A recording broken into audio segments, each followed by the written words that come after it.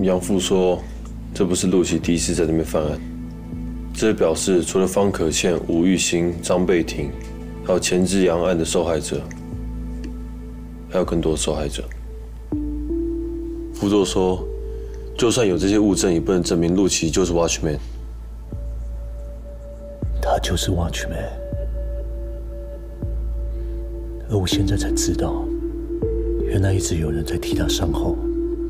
加上他与陆正生医院的关系，不能排除他背后的人正是孟雪松。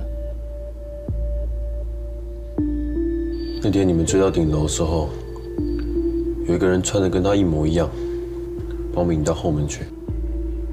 身体特征：身高一米八，体型健硕，他很聪明，帮我们引到人多的地方去。难怪陆琪每次犯案。总是显得特别从容，因为他清楚的知道他背后有人，能够消除他存在的痕迹。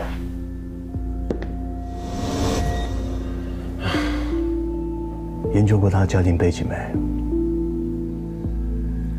有，我已经跟我们警队的人报告过。我认为他母亲的死，并不如媒体说的这么简单。跟他犯案手法有关吗？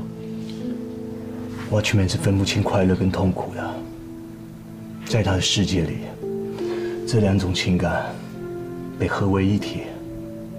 他伤害女性的时候，他眼中的女性是享受，不是痛苦。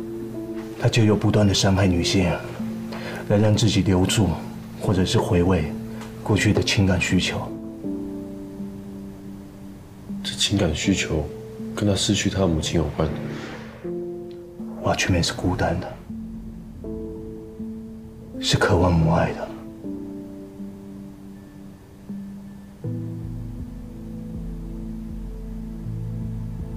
要知道为什么他会变成现在这样，就要知道他小时候发生过什么样的事情。